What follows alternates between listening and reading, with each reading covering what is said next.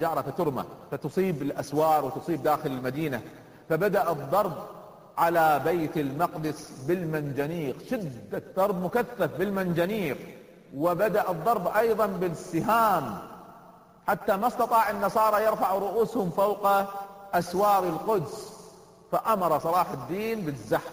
واستطاع المسلمون أن يخترقوا الخنادق التي حفرت حتى وصلوا إلى الأسوار. لكن أسوار منيعة. وكان عنده فرقة تسمى النقابين. النقابون هؤلاء شغلهم ينقبوا يعني يحفروا في الأسوار. فكانوا ينقبوا في الأسوار ويضعوا فيها خشب ويشعلوها نارا حتى يضعف السور. فبدأوا يحفرون في, في الأسوار. وشعر النصارى بالضعف الشديد. وصلوا إلى أسوارهم ينقبون فيها يشعلونها نارا وهم لا يستطيعون منعهم من شدة الضرب الذي أصابهم بالسهام والمنجنيق. هنا يتحرك الأرثوذكس. طبعا النصارى الصليبيين اللي جايين من أوروبا هؤلاء كاثوليك. وبين الكاثوليك والأرثوذكس عداوة وإن كان كلا الفرقتين من النصارى. لكن الكاثوليك لما سيطروا على القدس أهانوا الأرثوذكس إهانة شديدة جدا وظلموهم ظلما شديدا. فقارن الأرثوذكس أيام ما كانوا تحت حكم المسلمين التسامح والحرية والاحترام. كيف كان تحت حكم المسلمين؟ بينما تحت حكم الكاثوليك الأذى والإهانة. هنا الكاثوليك شعروا بمثل هذه التحركات فخافوا. عرفوا أن المدينة ستسقط لأن من داخلها الآن بدأ التحرك. فلجأ النساء والأطفال والعجائز والقساوسة لجأوا إلى الكنائس وكنيسة القيامة. يلجون بالدعاء من أجل أن يخلصهم ربهم من صلاح الدين. وازداد الضغط الإسلامي وانهارت معنويات النصارى.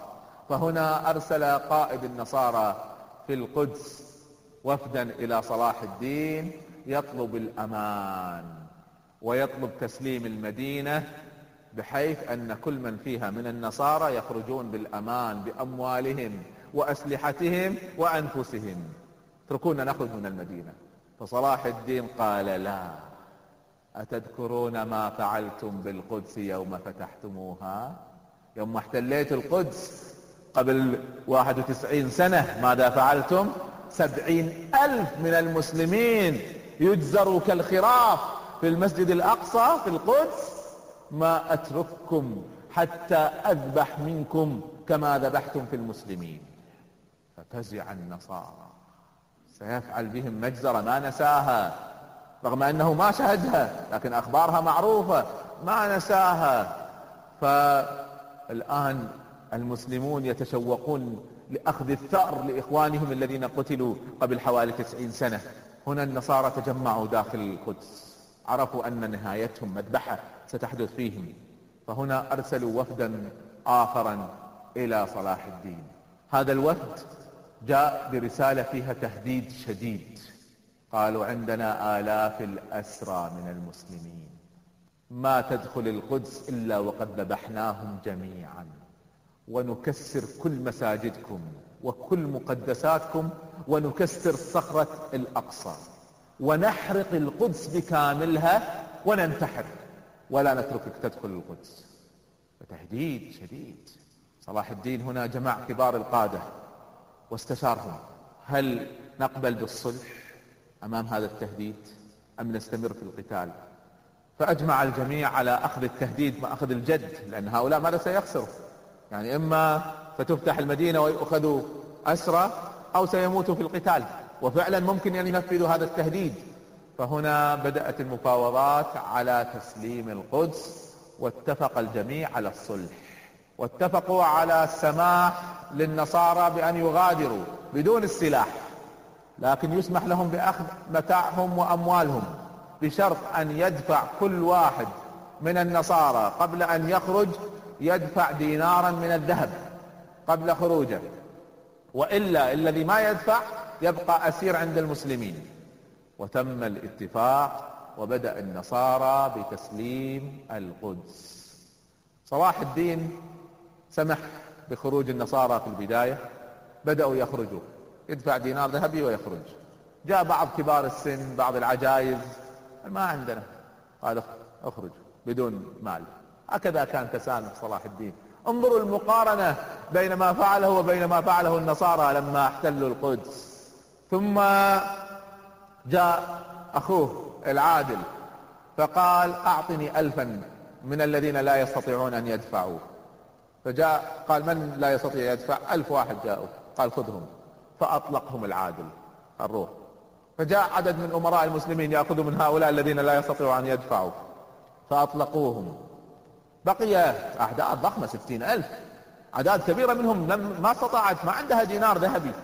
فبدأ النصارى الفقراء يطلبون من الأغنياء دينار ذهبي واحد يفكهم من الرق والأسر. فرفض أغنياء النصارى أن يساعدوا أبناء ملتهم الفقراء.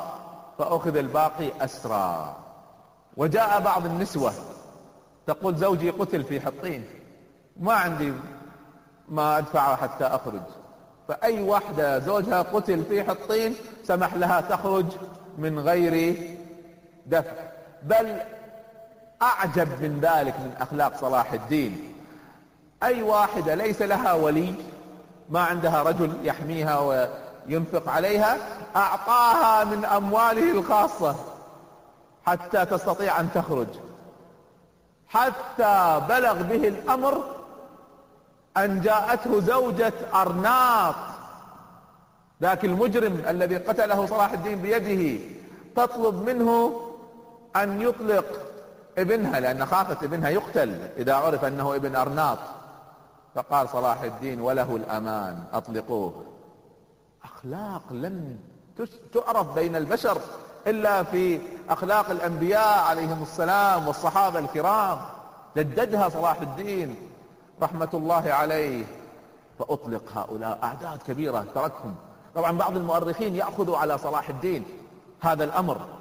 هؤلاء الرجال الذين خرجوا الرجال المقاتلين الذين أطلقوا بهذه الصورة وخرجوا تجمعوا في صور ليقاتلوا صلاح الدين. فكيف يتركهم صلاح الدين؟ هذا من المؤاخذات لكن هكذا كانت أخلاقه وسماحته ورحمته.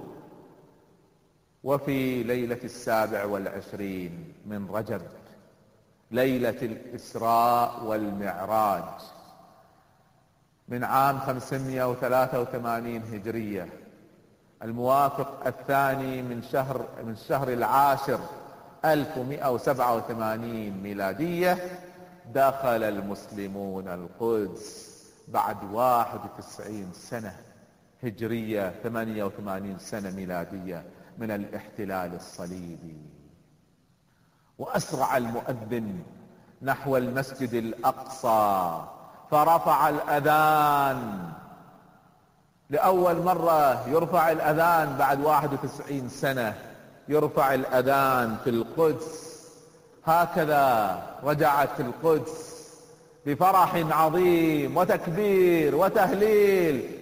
وتسابق المسلمون تسابق المسلمون نحو قبة الصخرة.